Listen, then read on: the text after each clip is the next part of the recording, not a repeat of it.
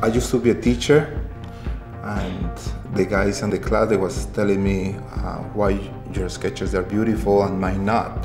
And I said, well, it's very simple. So I was doing it, and then they say, but why? And then I realized that it's a lot of things behind that why. First, you have to establish where you are. We always know that it's a vanishing point, always know that everything that is close is bigger, everything that is far is, is smaller. Also that the light kind of bounce in, into the object and makes this shape happen. It's perspective, it's light, it's materials, there are shadows, there are areas where the, the light hits. And these are the principles that you have to learn.